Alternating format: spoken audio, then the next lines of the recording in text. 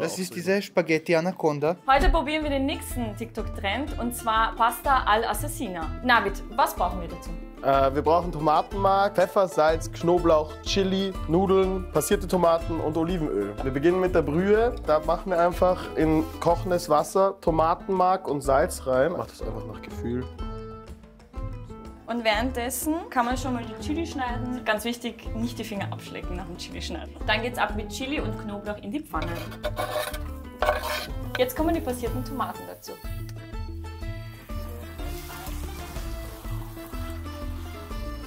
Jetzt haben wir die Brühe, die wir vorher gemacht haben, zu den Nudeln dazu.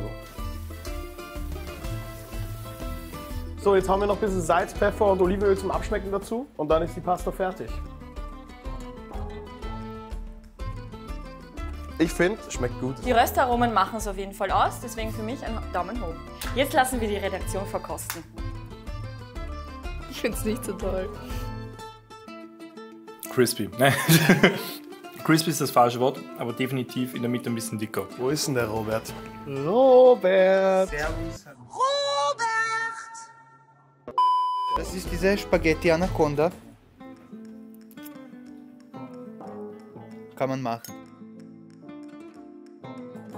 Und so schaut's aus, wenn die heute Redaktion kocht. Liken, abonnieren, Link in Bio.